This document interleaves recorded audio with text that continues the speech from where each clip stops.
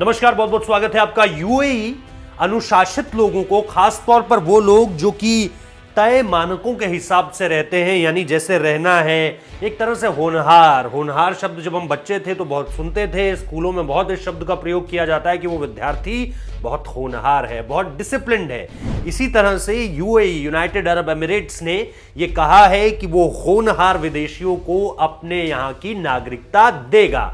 और इस बात को लेकर के जो है वो लगातार सोशल मीडिया पर ही नहीं, बल्कि दुनिया के अलग अलग वेब पोर्टल्स पर या न्यूज़पेपर्स पर ये खबर सुर्खियाँ बटोर रही है।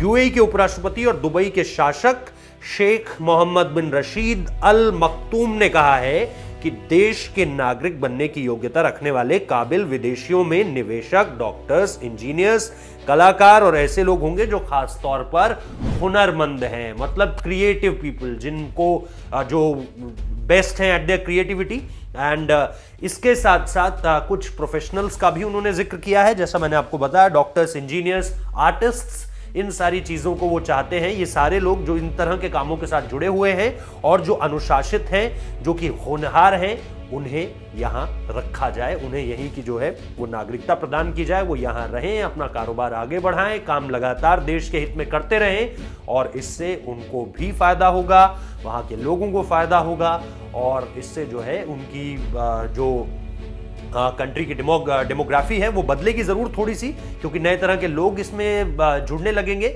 लेकिन इससे देश का ही फ़ायदा है। तो ये एक कानून है। जो कानून नहीं कहूँगा मैं इसे, ये एक नागरिकता देने का तरीका है जो निश्चित तौर पर होनहार विदेशियों के लिए एक अच्छी खबर लेकर आया बहुत बहुत शुक्रिया इस वीडियो को देखने के लिए।